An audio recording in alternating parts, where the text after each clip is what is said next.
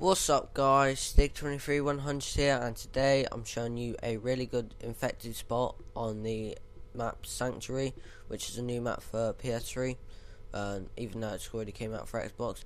But basically all you want to do is you want to come where I am and you want to try jumping onto a little I think it's like a branch on you sort of jump down there's like a death barrier.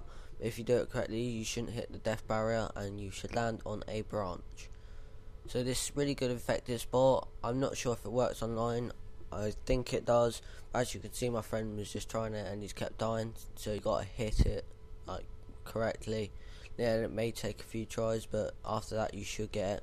So if you enjoyed this glitch, please comment, rate, subscribe, and have a nice day. Thank you and goodbye.